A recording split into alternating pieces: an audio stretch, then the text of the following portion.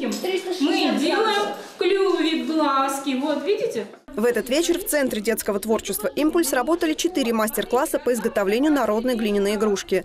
На одном из них школьники занимались росписью заготовок. Дело непростое. Прежде всего нужно правильно нанести основу, побелить изделие, иначе рисунка не получится.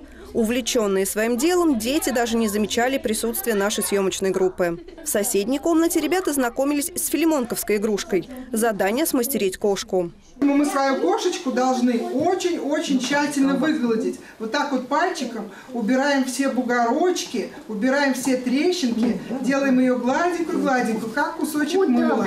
У меня все выходит, все получается, все красиво, ровно. Заглянув в другой кабинет, мы очутились в мастерской Каргопольской глиняной игрушки, которая сегодня по праву занимает одно из первых мест среди российских народных промыслов игрушки. Ребята трудились над «Тяни толкаем». Конечно, у кого как получается, но кто внимательно слушал, у того все получилось.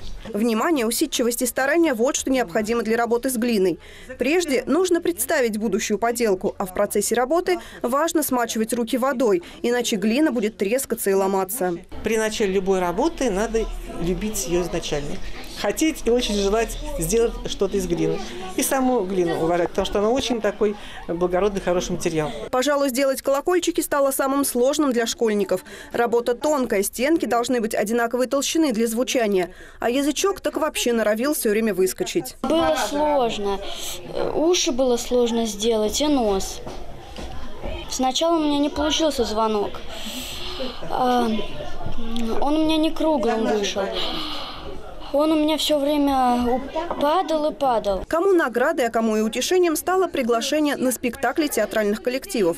В одном зале давали повтор спектакля о домовенке Кузе, а в другом состоялся премьерный показ мюзикла «Волк и семеро козлят» на новый лад.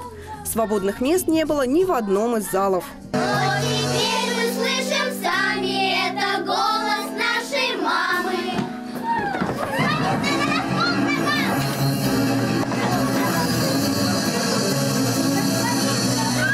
Это мероприятие, состоявшееся во второй раз, стало своеобразным днем открытых дверей.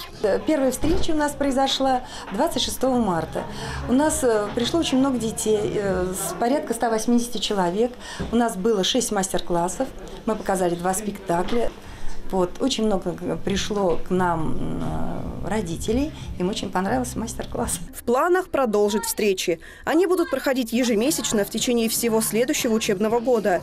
Юные и взрослые горожане смогут познакомиться со всеми объединениями центра и увидеть все театральные постановки коллективов. Татьяна Снежка, Алексей Иванов, Елена Кошелева. Видное ТВ.